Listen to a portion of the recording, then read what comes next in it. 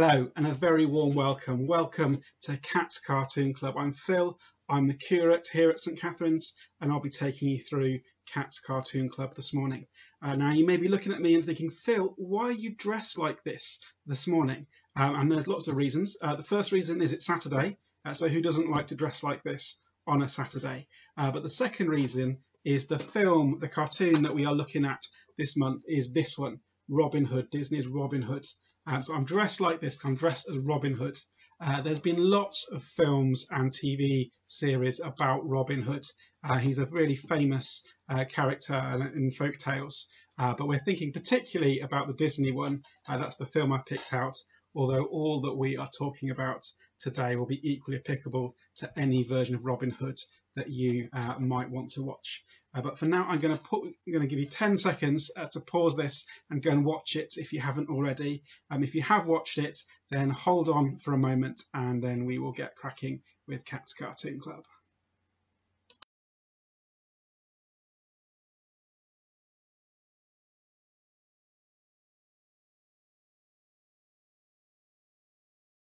So if you haven't seen the film, or if you have seen a film but would like a reminder, I'm just going to take you through a little bit of the story of Robin Hood from the film. Um, so the story it takes place long ago in England, uh, which was ruled by the greedy Prince John. He ordered the Sheriff of Nottingham to tax people so heavily that some were forced to become outlaws, uh, that's burglars. Two of the most famous outlaws were Robin Hood and Little John, who are the um, the bear and the fox you can see in green there, and they would steal the tax money from the sheriff and give it back to the poor. One day, uh, Prince John was travelling by coach to Nottingham to pick up more tax money. He was so busy counting his gold that he didn't notice that he was passing through Sherwood Forest, the home of Robin Hood. Nor did he see that Little John and Robin Hood were watching him from a tree. Look at that gold. Hey, Little John, Let's pay Prince John a visit, said Robin Hood. In his coach, Prince John was talking to his counsellor, Sir Hiss, about his favourite subject, gold. Life has become so wonderful since King Richard left for the Crusades.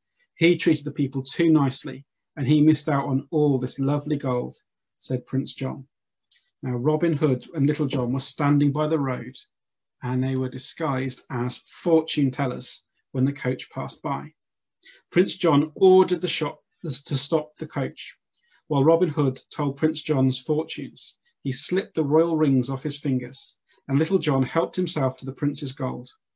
Prince John never even knew that he'd been robbed until Little John and Robin had escaped. Prince John became very angry and commanded to double the taxes. But of course, nobody could pay, and the prisons were full. The sheriff even robbed the church and arrested the friar for objecting. So that's the friar, Friar Chuck Tuck, who's a friend of Robin Hood.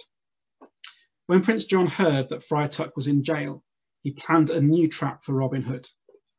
We'll hang the friar in the morning. When Robin comes to the rescue, we'll have him, said Prince John.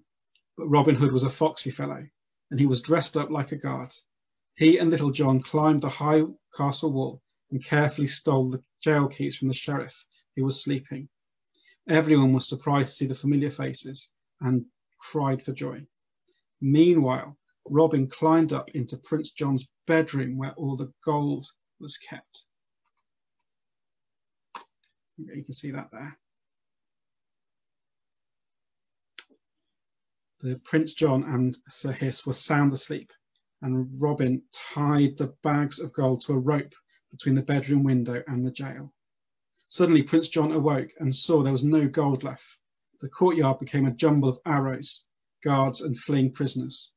When Robin's hat bobbed to the surface of the moat, Prince John was overjoyed and thought that he was dead.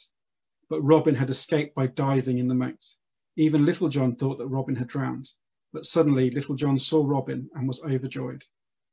Soon after Robin's narrow escape, the good King Richard came back from the Crusades. There he is. And he took his place on the throne. Happiness returned to the land. Robin Hood and Maid Marian were married, and all their friends came to wish them well. And the bad Prince John and Sir Hiss got their comeuppance. So that is the story of Robin Hood, according to Disney. Uh, and now we're going to look at another cartoon, uh, a cartoon from the Bible. I wonder what you'll make of this cartoon. Um, it's about a parable that Jesus talked, uh, that Jesus told, the parable of the talents.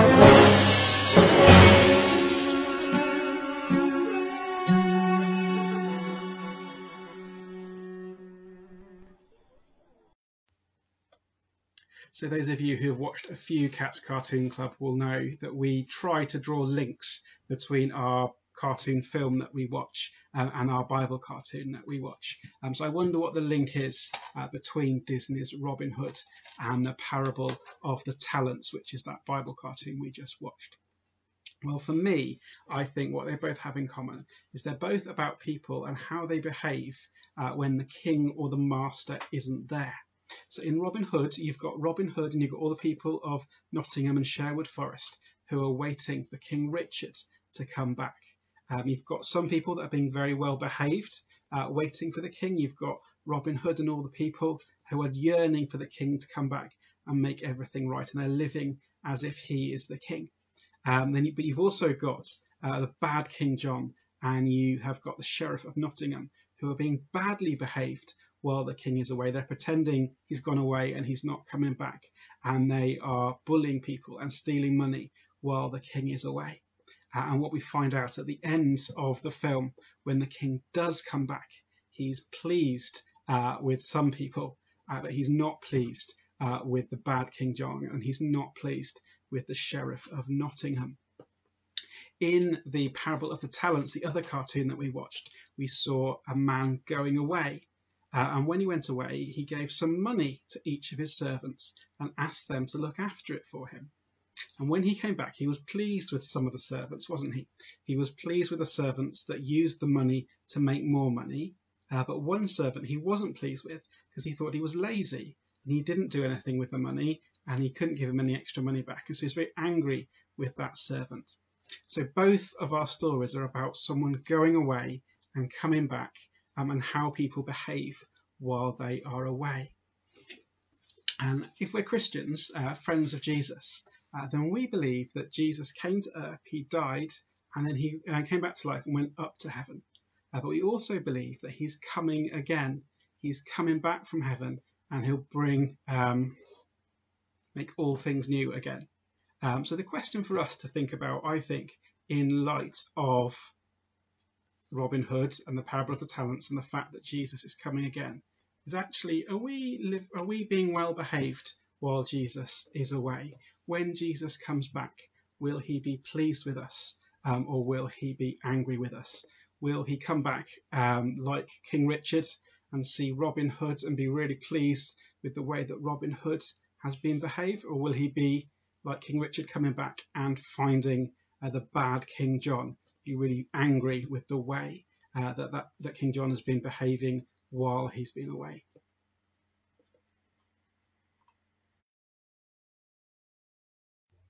So now we're coming to the part of Cats Cartoon Club where you uh, need to do your bit. It's the craft time.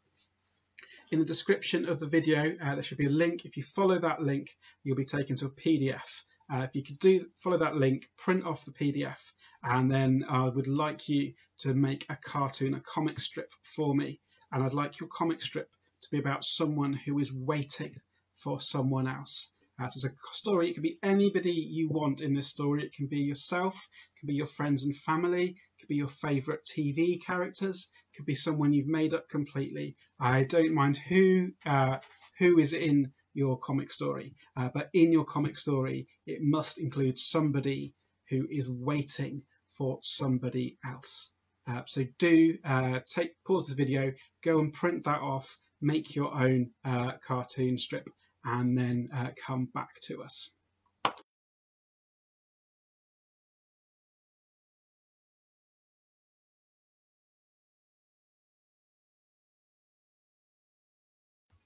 So thank you ever so much for watching Cats Cartoon Club. We're hoping next month in July uh, all the restrictions will be gone and we'll be able to meet physically in church to watch the cartoon together. So do keep checking uh, the St Catherine's Facebook page uh, for details uh, when we're ready to release them. Uh, but for now, I'm going to say thank you so much for joining us. Take care, God bless, and I will see you soon.